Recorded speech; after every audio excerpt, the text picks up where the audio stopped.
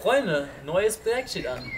Wir bauen einen Trike. Und zwar habe ich dafür bei eBay so ein kleines Dreirad hier erstattet. Da kommt jetzt der Motor rein. Also falls ihr nicht wisst, welchen Motor ich meine, diesen hier. Äh, das ist einfach, ist in der Videobeschreibung verlinkt, dieser Ebert äh, 6,5 PS Motor, den ich jetzt noch ein bisschen getuned habe. Jetzt gucken wir erstmal, dass wir das Ding ein bisschen auseinanderschrauben, mal gucken, was wir überhaupt da haben, äh, wie das alles funktioniert hier und dann sehen wir weiter.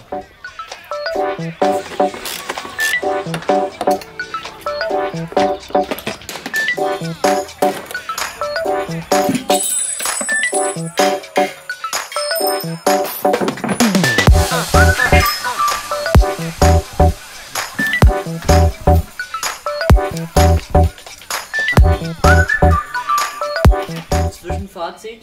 Wir haben äh, von dem BMX haben wir die Lenkvorrichtung in quasi auf, die, auf das Gehäuse, auf den Frame von dem ähm, Dreirad geschraubt. Was irgendwie ziemlich gut gepasst hat, glücklicherweise, und sieht echt cool aus. Ich glaube, es wird sick. Wir ähm, wollen jetzt dieses äh, Mofa-Rad quasi vorne ran machen, damit wir ein cooles Rad haben. Allerdings das Problem, es ist äh, zu schmal. Deswegen machen, versuchen wir jetzt hier zwei ein, ein Grad reinzusetzen, quasi, das nach außen zu biegen. Das machen wir jetzt. Wir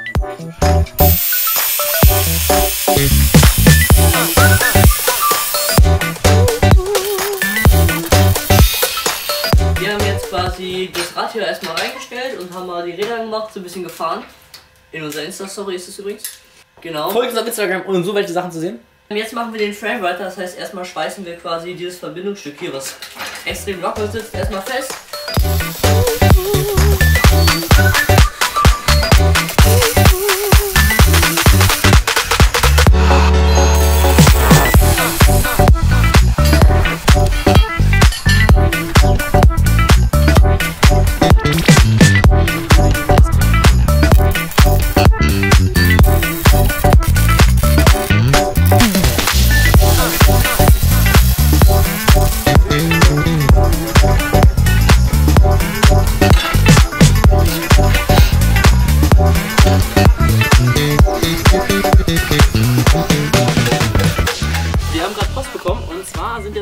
Teile eigentlich alles angekommen. Ich habe jetzt inzwischen einmal eine Go-Kart-Achse äh, mit Aufnahme für ähm, ganz normale Go-Kart-Räder. Ähm, ich glaube 10 Zoll müssten das sein. Ich habe eine Bremse bekommen mit einem Hebel und Hydraulik und allem drum und dran. Und ich hatte tatsächlich auch noch einen Motor bestellt mit einer Ölbadkupplung und einem Anlasser. Habe ich gerade auf Ebay gefunden, deswegen dachte ich mal, hole ich mir das mal ganz normal. Es war zwar jetzt doch recht teuer, also es sind jetzt insgesamt wieder so um die 300 Euro für alles. Aber ich denke, es hat sich gelohnt und das baue ich jetzt alles ein. Womit fangen wir an? Ähm, ich mache jetzt erstmal die Achse ready und ähm, versuche dann mal hier die ganzen Achsaufnahmen, also mit den Kugellagern, irgendwie an meinen Rahmen zu befestigen. Mega geil.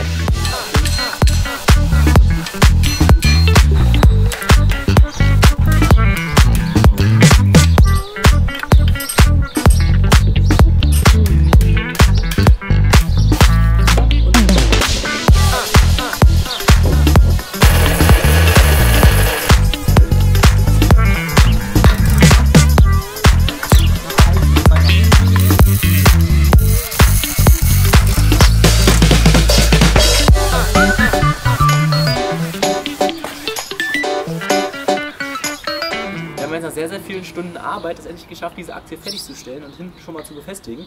Diese Befestigungsmöglichkeiten haben wir dann auch alle selbst gebaut. Hält eigentlich ganz gut, uns fehlen erst nur noch Schrauben. Der nächste Schritt ist jetzt der Motor. Den haben wir jetzt auch stundenlang ähm, auseinandergebaut und sowas. Der sieht jetzt erstmal ganz gut aus. Allerdings hat der jetzt einen Anlasser dran und eine Ölbadkupplung, deswegen passt er nicht in unsere alte äh, Halterung hier rein. Deswegen bauen wir jetzt hier vorne noch ein bisschen aus. Und bei der Gelegenheit machen wir direkt noch eine Befestigung für den Tank hier.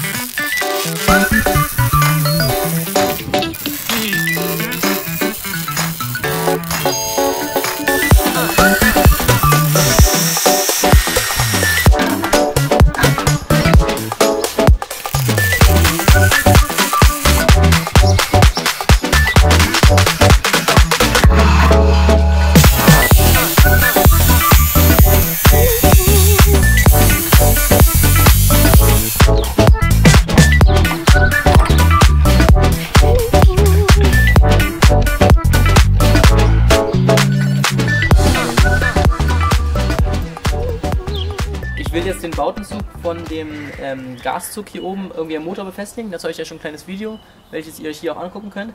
Ich mache es jetzt hier ein bisschen anders. Da der Bautenzug recht kurz ist, kann ich den nicht von hinten einführen, wie ich das in dem letzten Video gemacht habe, sondern muss den von hier von der Seite einführen.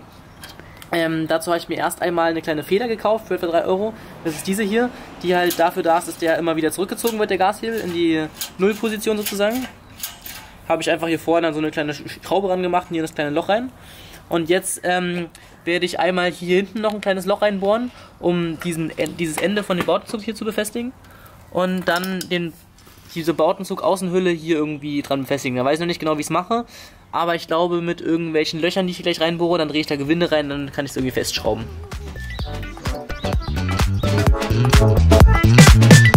Und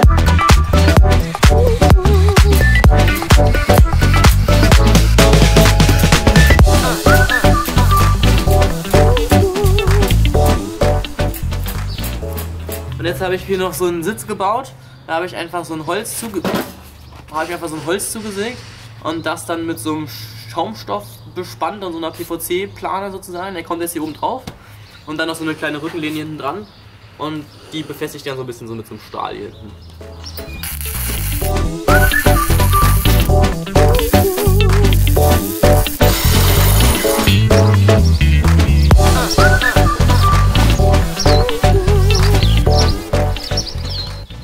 Sitztest.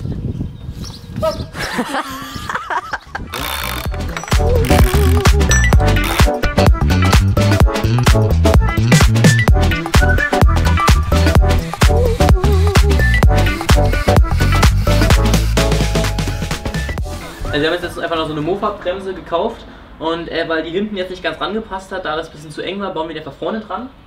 Und ähm, dafür habe ich jetzt die einfach mal in die Bremsscheibe rangeklemmt und dann die Bremse angezogen und mit einem Seil befestigt, sodass die einfach dort fest ist. Und dann können wir uns die ganze Apparatur zum Befestigen einfach dran schweißen und die Bremse bleibt an der richtigen Stelle.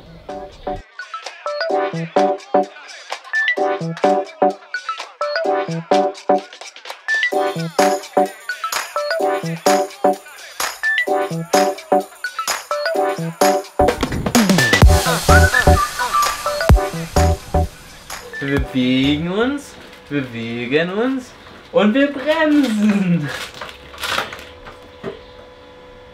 Schon nice. Okay, ähm, wir haben jetzt die Bremse befestigt, funktioniert soweit. Wir haben das jetzt tatsächlich so, dass diese Bremse einfach an zwei Gewindestangen gehalten wird und die ist da recht locker drauf und die wird quasi in der Spur gehalten durch die Bremsscheibe. Und wir haben die jetzt auch nicht weiter befestigt, aber die kann ja nicht runterrutschen, weil sie von der Bremsscheibe gehalten wird. Und jetzt sind wir fertig und können mal ein bisschen damit Test fahren. Nee, wir bauen erst Fußstützen. Wir bauen noch Fußstützen dran und dann können wir damit Test fahren.